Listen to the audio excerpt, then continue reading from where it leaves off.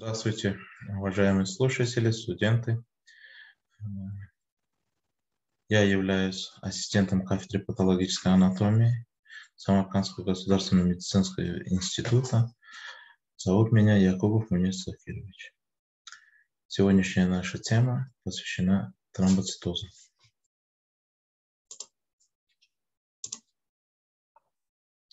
Тромбоцитопез. Схема регуляции мегакариоцитопеза. Внизу рисунка показаны а, периоды стимулирующего действия на мегакариоцитоз основных стимуляторов. ЛИФ – лейкозы, ингибирующие факторы.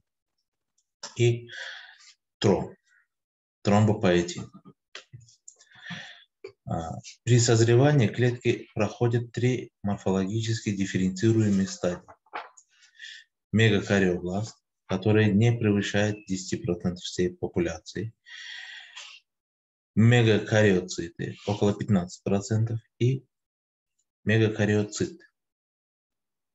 На его долю приходится от 75 до 85%. Процесс дифференцировки мегакариоцитарных элементов продолжается около 25 часов. Такое же примерно время, около 25 часов, составляет созревание, а весь жизненный цикл около 10 суток. Состав крови. Кровь – это смесь различных твердых частиц, плавающих в жидкости. Твердые частицы – это кровяные тельца, которые составляют около 45% объема крови. Большинство этих телец красные кровяные тельца, которые придают цвет крови. Остальные э, белые кровяные тельца и тромбоциты. Э, жидкую часть крови составляет плазма. Она бесцветна, состоит в основном из воды и переносит питательные вещества. На снимке указано э, сосуд и содержимое сосуда. Здесь вот вы можете увидеть внутреннюю поверхность сосуда, тромбоциты, вот они маленькие, плазму, белые кровяные тельца, указано вот синим цветом, и красные кровяные тельца. Тромбоцитопоэз схематично указано. А, здесь а, на картинке вы можете увидеть этот период.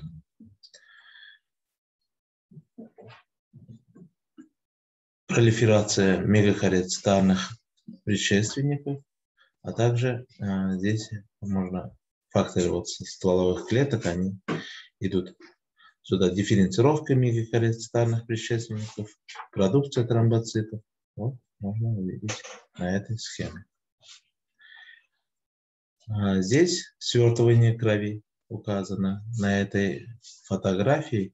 И когда кожный слой нарушается, организм начинает активную деятельность по останов...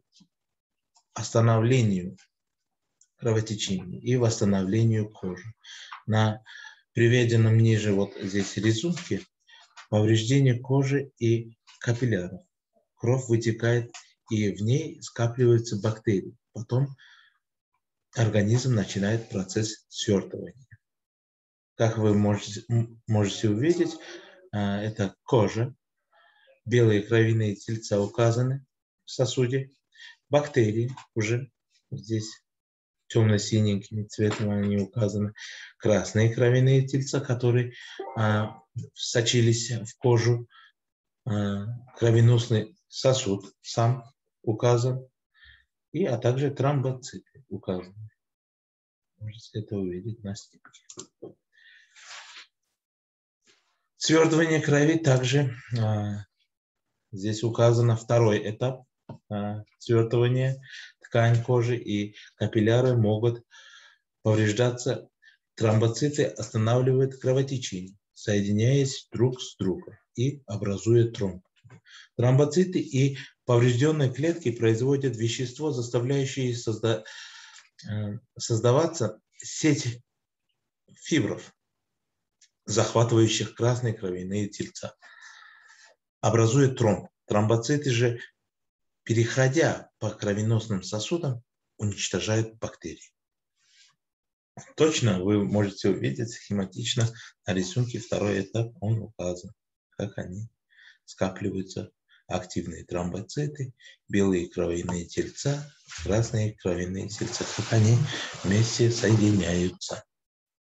Также на третьем этапе свертывания крови кровяные сгустки затвердевают, формируя на поверхности раны тромб. Он служит барьером для бактерий и защищает ткань, пока она восстанавливается. Когда ткань восстанов... восстановилась, тромб отпадает, а место, где он находился, покрывается кожей. В больших кровеносных сосудах образование тромба затруднительно, так как они несут кровь под большим давлением. Тут тоже вы можете увидеть вот тромб а, на поверхности кожи. Это корочка от ссадины. Вы можете, если на теле человека или же после а, травмы, вы можете увидеть, как она свернулась в виде корочки. Тромбоцитоз – это повышенное количество тромбоцитов в периферической крови более 400, умноженное на 10 а, в девятой степени литров.